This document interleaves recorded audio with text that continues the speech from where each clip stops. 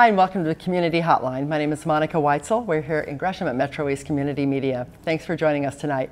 My first guest tonight is going to be We Can Do Better. And that organization is represented by Travis Stovall, the board chair. Thanks for being here, Travis. And Amy Fellows, executive director. Thanks Thank for you. joining us. So, Amy, maybe you could start out by telling us a, a little bit about what, is the mission of uh, We Can Do Better, and- and what, exa- what exactly does that mean? It's kind of that. Uh, it's kind of a tough name for an organization. I mean, that could mean all sorts of things. Yeah, so We Can Do Better is a civic engagement organization that um, started as the Archimedes movement in 2007 um, by Governor Kitzhaber um, in, in between his governorships. And really, the idea is to help educate the public and bring the public into having a voice in health policy transformation and health mm. transformation. A big topic these days. A very big topic Yeah. these days. Mm.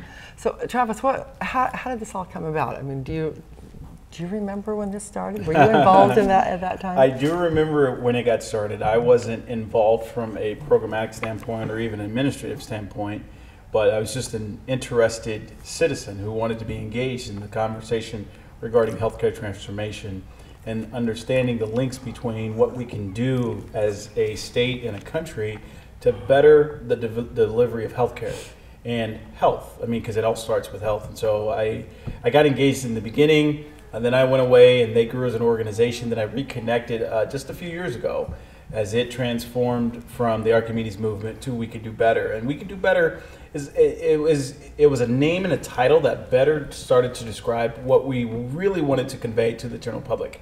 Archimedes movement, you give me a lever, I can move the world, is essentially what that was all about. So give us a lever and we can move we can move the needle on healthcare and health in the United States and have an influence on the world, health and healthcare.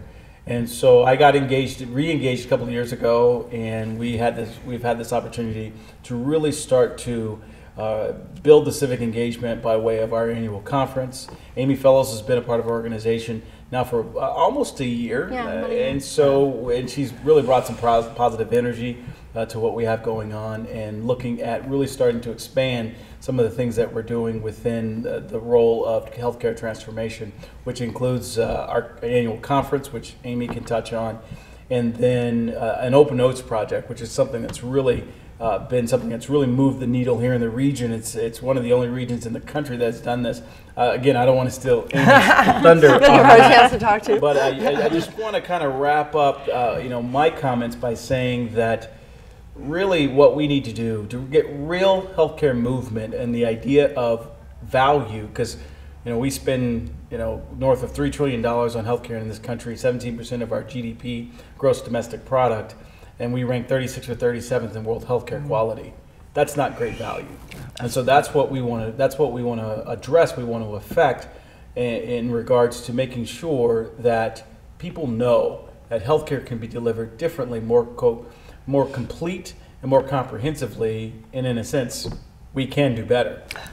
Wow, that was very nice segue there. So, what, what is the actual, what is the main focus? Is it is it education? Is it um, do you go, do legislative work? Do you? We, um, we don't do legislative work. We really are in the role of a convener. So we work with a lot of people that do advocacy work, but we really are about bringing different people to the table to help have that conversation and some of the hard conversations. So um, one of our activities that we do is we're um, we have a program called Allies for a Healthier Oregon. So there's a, several small non healthcare related nonprofits that come together monthly off legislative session, weekly during the legislative session, and these are organizations that can't afford to have lobbyists in Salem. So it's So really just about information sharing and them sharing their agendas with each other and trying to form alliances with each other. And again, We Can Do Better's role in that is really just the convener and helping bring people together. How did you get involved in this? Do you have a background in, in healthcare? I do. Um, I have a master's in public health from Portland State, and I'm actually an adjunct there now as well. Oh, okay. um, and I um, worked for 10 years for an organization called OCHIN. Um, it was the Oregon Community Health Information Network. and Oh, okay. the idea of it is supporting um, safety net clinics with health IT and electronic health records. So that's kind of my background. And um, I met our, our founding executive director and really wanted to work with her and, um, and, and kind of help push this forward. And so, Good. So you have a, you have some passion behind Yeah. it, and I know and I know you do too, Travis. Um, tell me, what do you feel like you've made a difference? uh, Do you think this organization has made a difference in the time that it's been that it's been uh, in existence? Well, the short answer for me, it's going to be completely biased, but it's yes. You know, I think we have, and I think, you know, what we're going to touch on in regards to the Open Notes project is something that we're really mm-hmm. making a difference, really seeing some transformation there. But just the idea that we're having this conversation in the region at multiple levels proves that we've brought some things to the table. Historically, there have been some. The triple aim is mm-hmm. another thing that actually has has come out of. Uh, at that time, it was the Archimedes movement. Now we can do better. But the triple aim came out of a lot of work that the Archimedes movement did. And there are a, a number of other items that we can look to that say we've we've actually had some mm-hmm. impact and had some effect on healthcare in this region. I do want to touch on one thing that Amy mentioned in regards to how we work as an organization. We're a nonpartisan, non-political organization, 501c3, that's really focused on the facilitation of the discussion and the discourse, which includes the civic engagement component. It's a little different. You know, most folks come to the table, they've got something predefined, predefined and pre-designed that they want to push uh, some type of mean, you're not lobbying for anything. But we're not lobbying for anything, but we take the opportunity to bring all these groups and organizations together to have this conversation, this discussion, and that's proved uh, to be very successful. as, well as individual citizens. Um, at this point, we have, I think, over 6,000 people statewide that stay engaged with us, as well as some Wow. folks nationally that just kind of stay engaged with our actually. newsletter. Um, so, and the way that it, what Travis was saying, the way it works is um, our conference that we had in two- 2013 really set the stage for the work we were doing this year.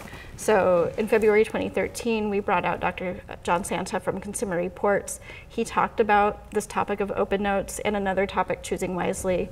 And our board, Travis and the rest of the board, decided these are projects we want to get involved with as well as the fact that the evaluation from the conference, there was a lot of interest in open notes.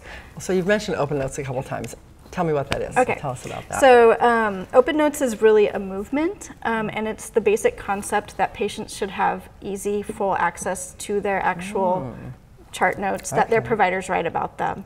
Um, through HIPAA and all of those things, we all have access, but it's very cumbersome. You have to go through a big process, often pay money for the printout.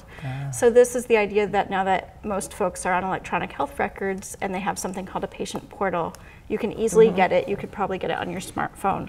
Um, and so we brought, we mentioned last February Open Notes. In June, we brought out um, the folks that have done the research and really started the movement from Boston, from Beth Israel Deaconess Medical Center, um, and and introduced the idea to the various health systems and policymakers and patient advocacy groups in Oregon.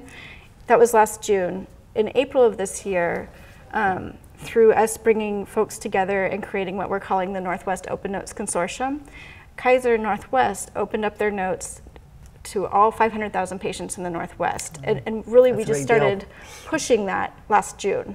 And so I- that's already started happening. There's nine health systems that are involved. Mm-hmm. So Kaiser, Legacy Health, Oregon, OHSU, Providence, um, Portland Clinic, and Vancouver Clinic, OCHIN that I mentioned that I worked for previously, and Salem Health, as well as the VA, who's who's actually had their notes open for quite a while.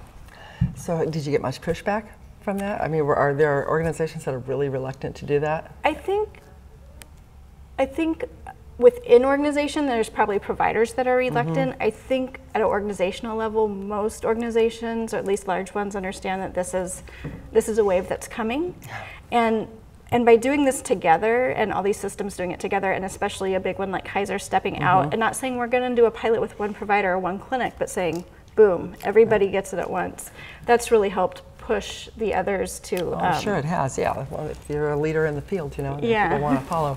And, and that really, I can see where that would be a huge thing. I know my um, my mom had Parkinson's, and I was the one who always took her to her appointments, and I Yes. had I had access to the patient portal, and and I was able to get her records and talk to the doctor, and it was really wonderful to be able to know that I was uh, up on what was going on and not having to, you know, depend on mom who was, you know, not doing really well to remember what, you know, Exactly. what, what my meds were, what, you know, what she was supposed to be doing. And Yeah, most of the systems now give you access to your medications and the lab Mm-hmm. work and things like that. But this is actually the chart notes that have the plan in it, so Right. that someone like you can help support your Right. mom in following the plan. And that was a huge, huge help. Yeah, it was.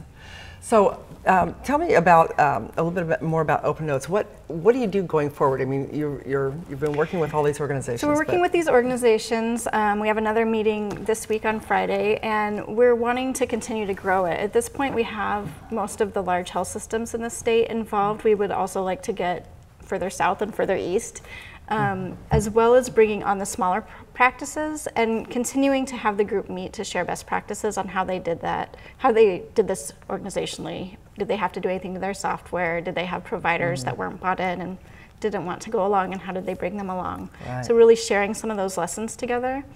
Um, as well as one of the things that we can do better really wants to um, address with Open Notes is really Open Notes is the first step, but addressing um, health literacy or once people have access to their notes, do they understand what they're reading? Mm. Ah, and how do you support the point. patients in understanding that? Because the notes really are the provider's notes for themselves and they communicate with other providers. So how they do you could be support that? misinterpreted. They could be Yeah. misconstrued. Yeah, that could be a real problem. So you'll be working kind of in, in that area too. Yes. Um, That's a that's, that's a huge help to the um, to the community at large, and I can I can see where there would be some a little bit of pushback on some of that, but overall it's got to be a good thing. What um, Uh, on the study that, that was done, um, that Robert Wood Johnson Foundation supported, the study from the Beth Israel folks, they did it in three different systems in three parts of the country, with over 13,000 patients and 105 providers um, at the three sites. And so they did it for a year. And basically, what they found is that um, patients reported feeling more in control of their care, having greater understanding of their medical conditions, and being more likely to take their medications as prescribed. And at the end of the year, 99% of patients wanted to continue to have access, and none of the providers chose to withdraw. oh, that's So, good. That's so, good. so it is it is an optional optional thing that providers once they once they lock into that they're not they don't have to. Well, that's there. really a, s- that's really an organizational policy and Okay. decision and how they roll that out. This was a research study, so the beginning. What, what other thing? What other things did you uh, cover in the conference that you had? I know you said um, obviously Open Notes was a big thing. There was something else you mentioned, Travis. Well, in our conference, we just, I mean, we covered a number of different topics the Affordable Care Act and some of the impact there, patient responsibility, we covered. Uh, Really, we focus on health and health care. So it's, it's all about, you know, a lot of your health and health outcomes. Price transparency and quality. Correct. Uh, but then we we talked. We actually discussed uh, food and, and why food matters. You know, so that's something that you normally don't see in health and healthcare conferences. Is this combination of you know why food matters or food matters is what the title of that was. Affordable Care Act. Community you know, health. Community health, transparency, all of these things. You know, in conjunction and, uh, and really a comprehensive type of a program bringing all that together so that folks can actually be empowered to better understand how the healthcare system works. So we had a, a real comprehensive uh, conference that we'll continue to have, and that's something that is really one of the hallmarks of our organization. What we look to do is really engage people uh, from a civic perspective in that education and then action. We really want to send them away with action items that they can go do or that we can do better, can take from that group and utilize as we move forward. Okay, so before we run out of time, tell me if people are interested in this, if this is something that they want to get more involved in, what can they do? Um, people can go to our website, which is wecandobetter.org. Um, you can join our newsletter. You can talk to your patient, your providers or doctors about open notes and ask them if they're going to do that. And if you're a provider, you can contact us about joining the Northwest Open Notes Consortium. Great. And are, do you have a need for volunteers at your organization? Always. Always, Yeah, always. Same always- thing, go to the website and you can. you Yes, find That is absolutely. It'd be great to have volunteers. Right. Thank you both so much for being on tonight. Uh, Thank you for it's, uh, us. Thank It you. sounds like um, you're really doing some good things for the community because that's uh, obviously a hot topic. That right it now. Yeah. So thanks very much for watching this first segment of Community Hotline. Don't go away. We'll be right back with more good things from our community just sit down.